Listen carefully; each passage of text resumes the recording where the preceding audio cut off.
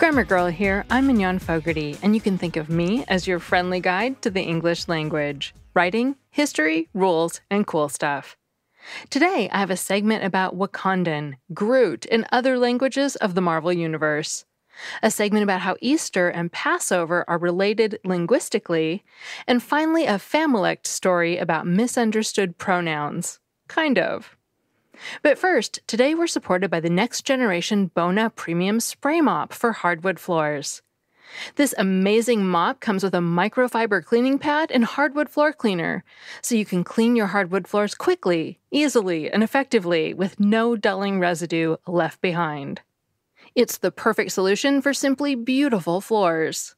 Bona Premium Spray Mop is available on Amazon, at Bona.com, and at most retailers where floor cleaning products are sold.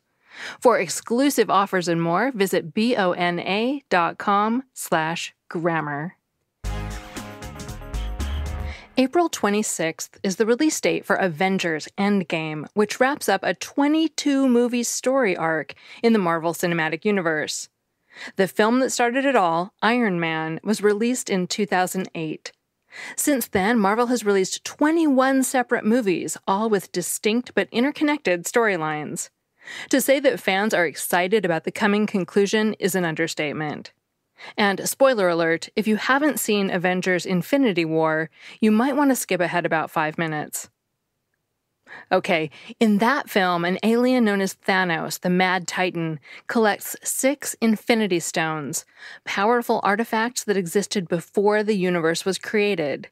He uses their combined power to destroy half the galaxy in one fell swoop.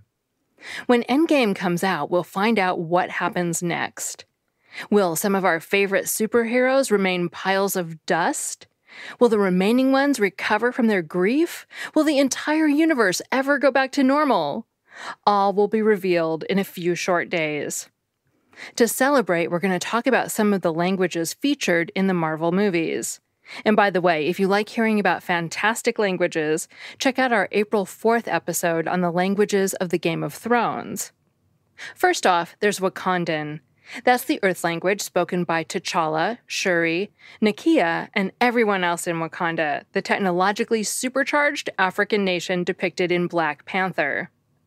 Two other languages are spoken there Hausa and Yoruba, and most citizens also speak English and several other African and European languages.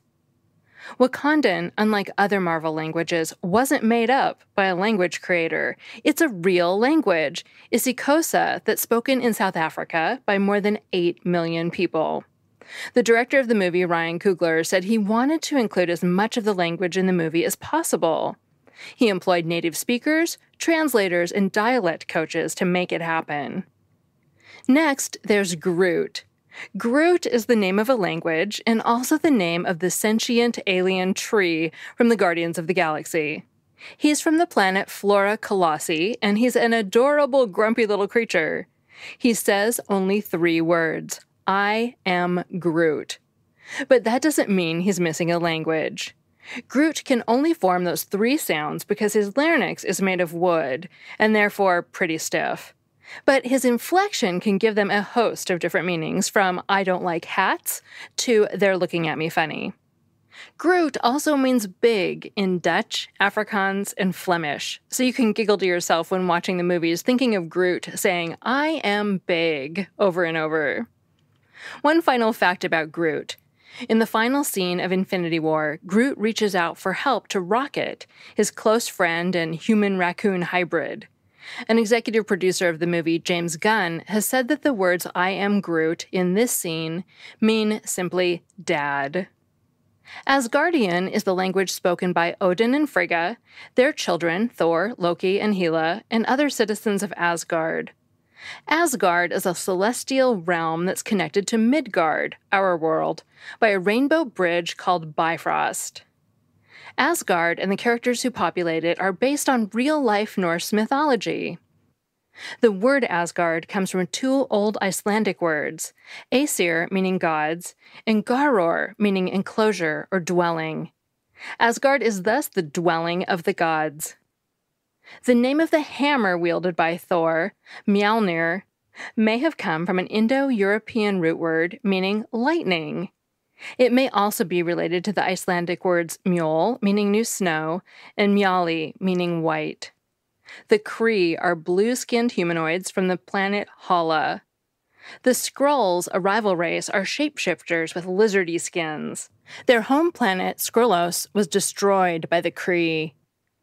The Kree speak the Kree language. The Skrull speak several languages, probably because they've been forced to spread out across a number of planets. Their dialects include Freedi, Urdu, and Tle'legi. The Chitauri are a cybernetic alien species that has also fought the Kree. They attacked Earth in the first Avengers movie, serving as Loki's air force and army. The Chitauri language is noteworthy because it contains 192 ways to say the word hate.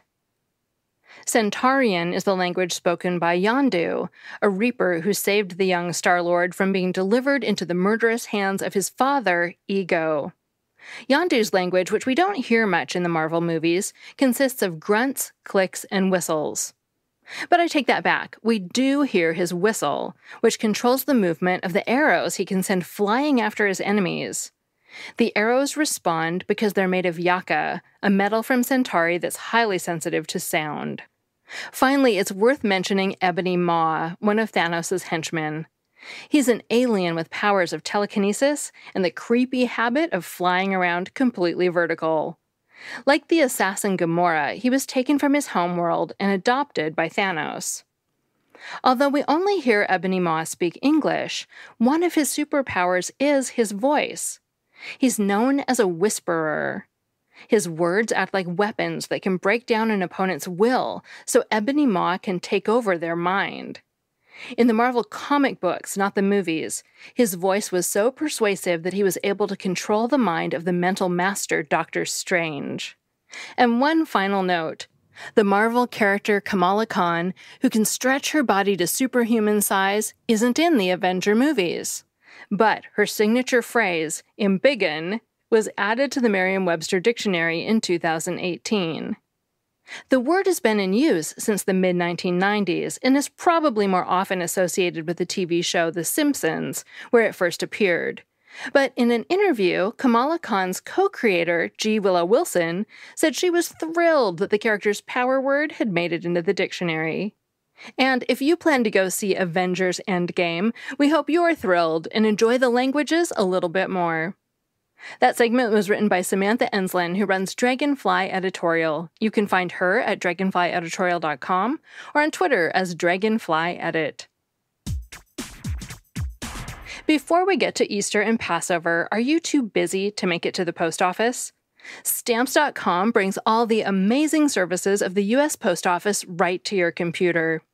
You can print official U.S. postage for any letter, any package, any class of mail, anywhere you want to send. Then all you have to do is drop your mail in the mailbox.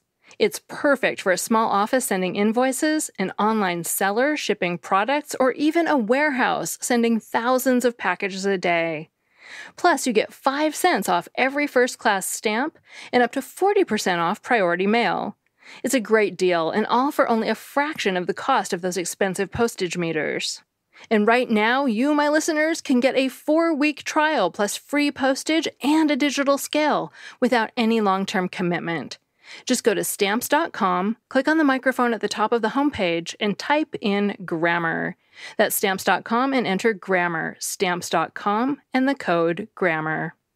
Today, we're also sponsored by an innovative financial firm called Aspiration. Aspiration doesn't want to be like the big banks, where high fees are common and your deposits could be used to help the bank invest in oil pipelines and other unsustainable practices. With Aspiration, you get more money in your pocket and more power to do good.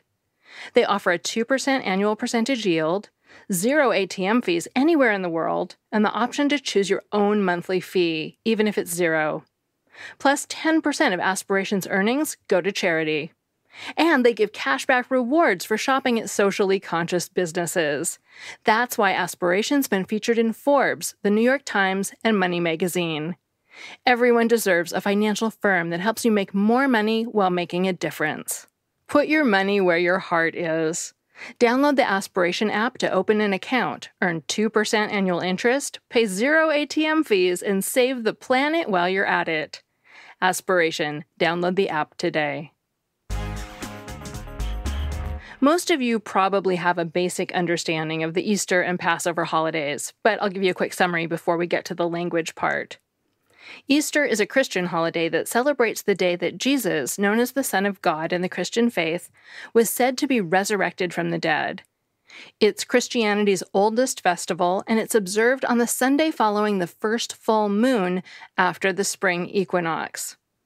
Passover is a Jewish holiday that celebrates the Jewish people's liberation from slavery in ancient Egypt.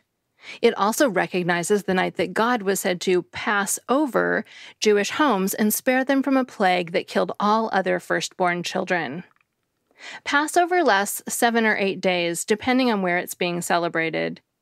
It begins on the 15th day of the Hebrew month Nisan, which falls during late March and early April. What many people may not know about these two holidays is that they have a related linguistic history, at least in some languages. Let me explain. Passover comes from the Hebrew word Pesach, which means to pass or spring over. And in most European languages, the word for Easter also has this root. For example, the French word for Easter is Pâques. The Dutch word is Pasen. And the Spanish expression is Pascua de Resurrección. Why is Easter so closely associated with Passover? Because Jesus was a Jewish person his last meal, what Christians call the Last Supper, was a Passover celebration. Jesus was executed during Passover week, and he was said to come back to life three days later. In fact, early Christians celebrated Easter on the same day as Passover, regardless of what day of the week it fell on. Nowadays, it's always celebrated on a Sunday.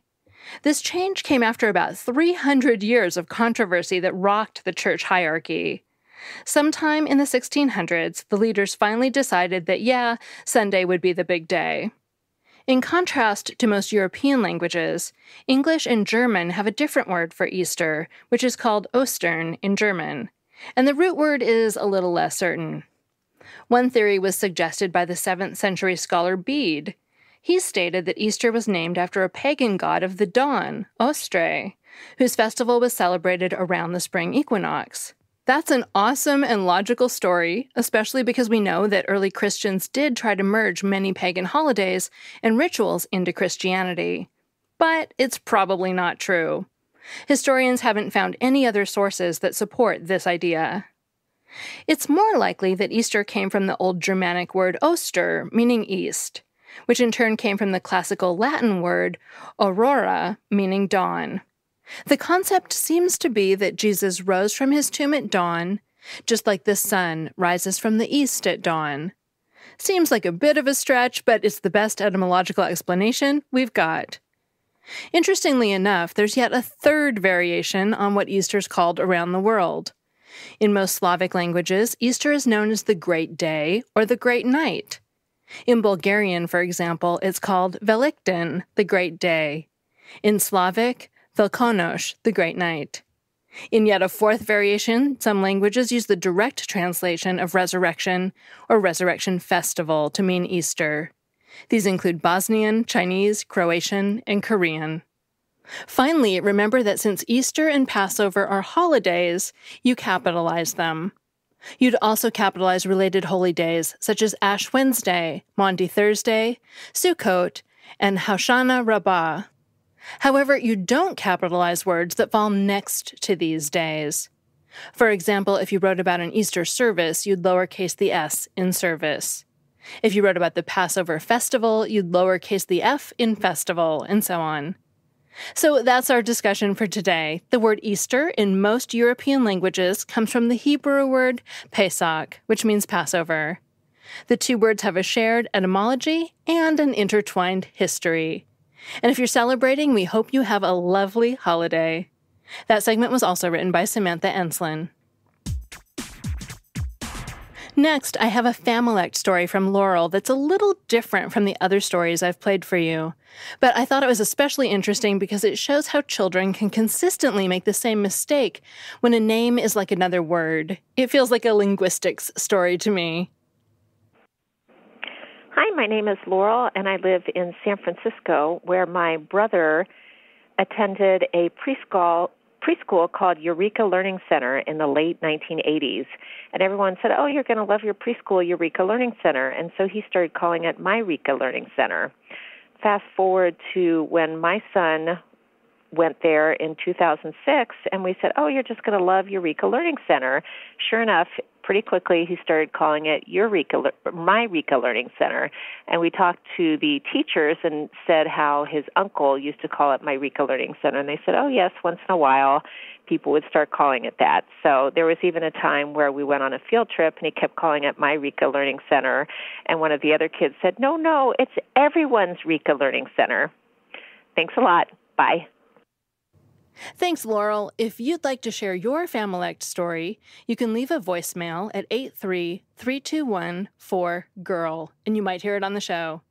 I'm Mignon Fogarty, better known as Grammar Girl, and author of seven books, including the New York Times bestseller, Grammar Girl's Quick and Dirty Tips for Better Writing. And thanks to my audio producer, Nathan Semes. This show is part of the Quick and Dirty Tips podcast network, and you can find articles that go with each episode at quickanddirtytips.com. That's all. Thanks for listening.